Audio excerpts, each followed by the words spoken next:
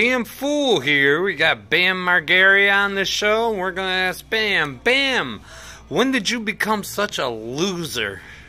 Or were you always that way? We just didn't notice.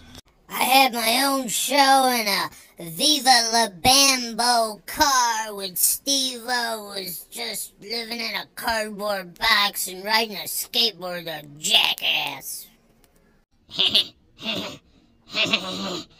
Bam!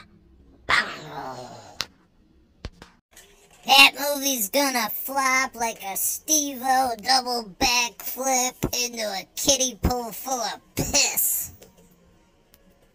What a dumbass. Yeah, dude. Viva la Steve-O.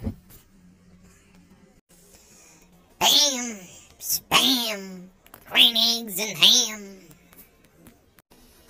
Show me that jelly roll, boo boo booby boy.